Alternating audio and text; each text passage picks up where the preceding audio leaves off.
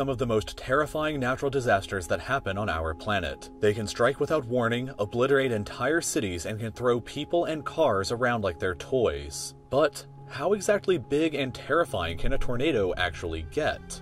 Well, most tornadoes have wind speeds that are under 110 miles per hour and are smaller than 80 meters across. Imagine an American football field and the tornado would be about as wide as 75% of the field's length. And while it would certainly be difficult, a human could actually manage to withstand being blown away by that wind speed. But that's not what you're watching this video for, so let's just get straight into the insane world of gigantic tornadoes and where they happen. Tornadoes have been documented to occur in every continent on Earth except for Antarctica, but a vast majority of tornadoes happen here in the United States in a region known as Tornado Alley. The reasoning for this makes sense because of the area's unique geographic location. Cold, dry air flows in, accompanied by the jet stream from the north. Warm, dry air flows in from the deserts to the southwest, and warm, moist air flows in from the Gulf of Mexico to the south and east. The combination of all this air mixing together is what causes Tornado Alley to be such a hotspot for tornadoes, and time and time again new records have been set here. The year 2011 saw a tornado super outbreak where in just four days there were 362 tornadoes that touched down over an area spanning from Mississippi to Virginia. On just April 27th alone, there were 218 tornadoes that touched the ground here.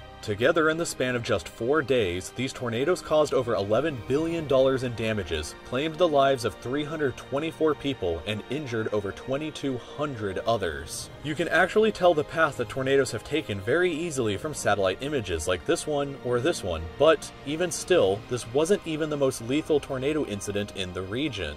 The deadliest tornado in U.S. history happened back in March 1925 in this region of Missouri, Illinois, and Indiana. There is no record of how fast the wind speed of the tornado may have been at the time, but it slashed through a path between all three states of 219 miles long. It traveled that distance in only three and a half hours, meaning that if the tornado instead started in Washington, D.C., it would have reached all the way to New York City in the same amount of time.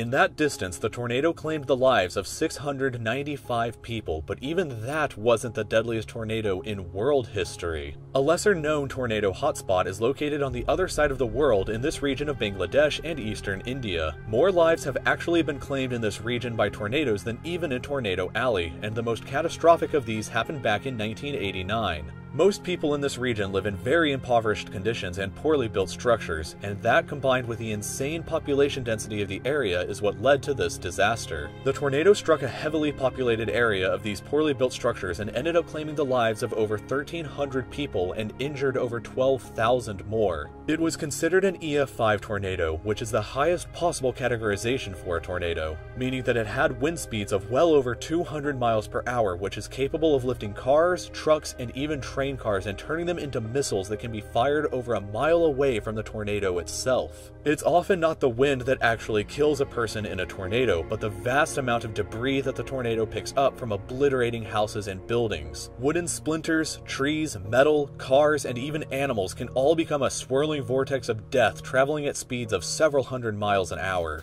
With all of this being said, however, the largest and probably most terrifying tornado known to have ever happened on our planet was the El Reno tornado, and it took place not too long ago in 2013 just west of Oklahoma City. Compared to the size of most tornadoes that I talked about in the beginning of this video, the El Reno Behemoth reached a size of 2.6 miles wide and achieved a terrifying wind speed of 302 miles per hour, which is the fastest recorded wind ever taken on our planet. To put these numbers into perspective, you could actually fit two fully sovereign countries completely inside the width of the tornado, Vatican City and Monaco. Even more ludicrous is what it would look like if we put this tornado over New York City. The entire length of Central Park from end to end is almost a perfect measurement of how wide this tornado actually was. So imagine a tornado that long with winds screaming around it over 300 miles per hour. That's fast enough to severely damage even skyscrapers and can rip the asphalt straight off of streets on the ground.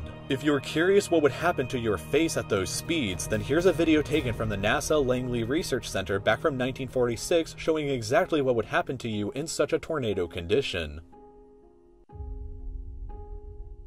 If the El Reno tornado had happened literally just a few more miles to the east, it would have directly hit downtown Oklahoma City, and it probably would have destroyed the city. The scariest thing about tornadoes like this one is that they can happen in a huge variety of places with very little warning, and it's entirely possible that the next time a big one happens, it won't be in a countryside field, but rather in a large city. I'm going to leave you with this fascinating map from NOAA that shows you the daily probability of a tornado strike near your house throughout the year. Enjoy!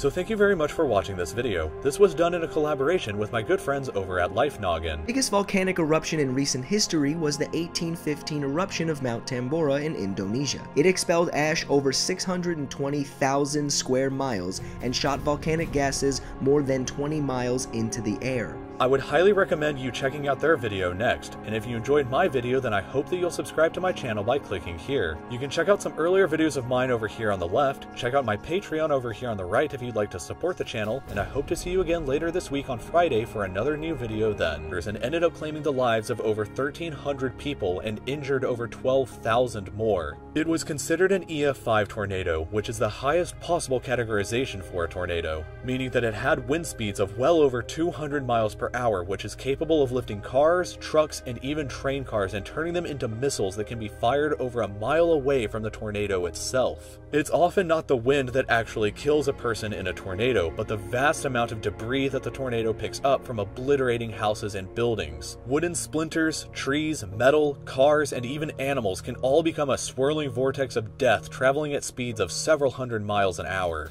With all of this being said, however, the largest and probably most terrifying tornado known to have ever happened on our planet was the El Reno tornado, and it took place not too long ago in 2013 just west of Oklahoma City. Compared to the size of most tornadoes that I talked about in the beginning of this video, the El Reno behemoth reached a size of 2.6 miles wide and achieved a terrifying wind speed of 302 miles per hour, which is the fastest recorded wind ever taken on our planet. To put these numbers into perspective, you could actually fit two fully sovereign countries completely inside the width of the tornado, Vatican City and Monaco. Even more ludicrous is what it would look like if we put this tornado over New York City. The entire length of Central Park from end to end is almost a perfect measurement of how wide this tornado actually was. So imagine a tornado that long with winds screaming around it over 300 miles per hour. That's fast enough to severely damage even skyscrapers and can rip the asphalt straight off of streets on the ground. If you're curious what would happen to your face at those speeds, then here's a video taken from the NASA Langley Research Center back from 1946 showing exactly what would happen to you in such a tornado condition. If the El Reno tornado had happened literally just a few more miles to the east, it would have directly hit downtown Oklahoma City, and it probably would have destroyed the city. The scariest thing about tornadoes like this one is that they can happen in a huge variety of places with very little warning, and it's entirely possible that the next time a big one happens, it won't be in a countryside field, but rather in a large city. I'm going to leave you with this fascinating map from NOAA that shows you the daily probability of a tornado strike near your house throughout the year. Enjoy!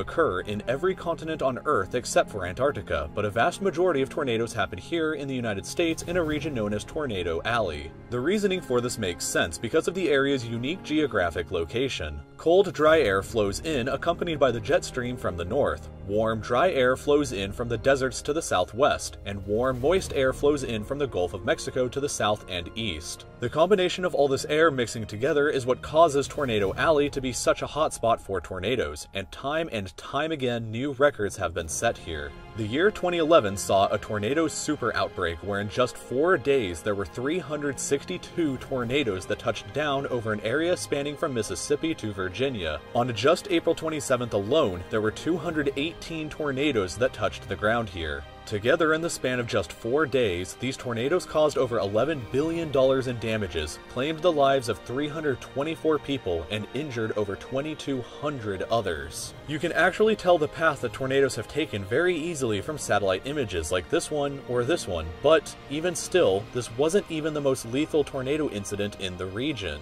The deadliest tornado in U.S. history happened back in March 1925 in this region of Missouri, Illinois, and Indiana. There is no record of how fast the wind speed of the tornado may have been at the time, but it slashed through a path between all three states of 219 miles long. It traveled that distance in only three and a half hours, meaning that if the tornado instead started in Washington, D.C., it would have reached all the way to New York City in the same amount of time. In that distance, the tornado claimed the lives of 695 people, but even that wasn't the deadliest tornado in world history. A lesser known tornado hotspot is located on the other side of the world in this region of Bangladesh and eastern India. More lives have actually been claimed in this region by tornadoes than even in Tornado Alley, and the most catastrophic of these happened back in 1989. Most people in this region live in very impoverished conditions and poorly built structures, and that combined with the insane population density of the area is what led to this disaster. The tornado struck a heavily populated area of these poorly built structures and ended up claiming the lives of over 1,300 people and injured over 12,000 more.